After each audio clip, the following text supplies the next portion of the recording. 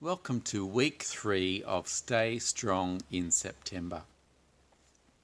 It's very easy to fall into a bit of a rut with the things that we pray about regularly and just be doing the same things day by day.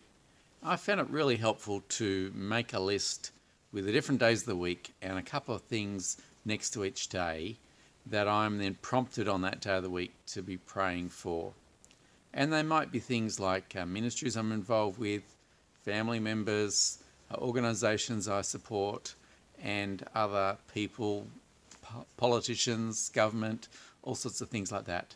Uh, if that's a helpful way for you, then uh, why not try something like that and bring some variety into the things that you're praying about for. So it's not just about you and your immediate needs, but think about the bigger things going on around the world. We'd love you to be praying regularly for the things going on in our church, for its ministries, for the people we're trying to reach who are lost in the community, are all fantastic things to have you praying for regularly. Before we go into today's passage, let's pray. Lord God, thank you that we can speak to you about all kinds of things going on in our world. Help us to put thought and effort into uh, praying diligently for many different things. And we pray as we read your word now that we might hear and understand what you have to say to us today. In Jesus' name, Amen. We're reading from 2 Thessalonians chapter 2, verse 3 to 17.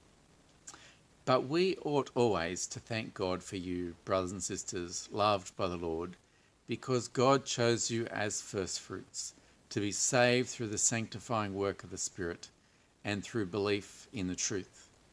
He called you to this through our gospel that you might share in the glory of our Lord Jesus Christ.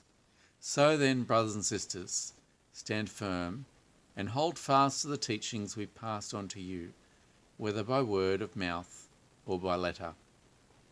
May our Lord Jesus Christ Himself and God our Father, who loved us and by His grace gave us eternal encouragement and good hope, encourage your hearts and strengthen you in every good deed and word.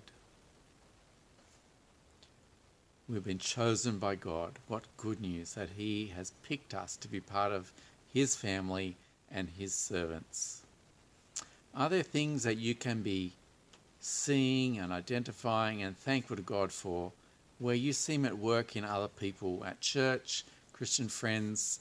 Uh, what great things to thank God for and to encourage them with that you can see God at work in their life. Are there areas where you are tempted to drift from the Bible's teaching? Areas you find the Bible's teaching really challenging to accept and follow? Then think about ways you can grow in those areas and in your trust in God in those matters. If you want some additional help, then please talk to myself or Phil, and we love to pray with you about it and give some other suggestions on practical steps you could do to keep standing firm and holding fast to what God teaches us. Let's pray.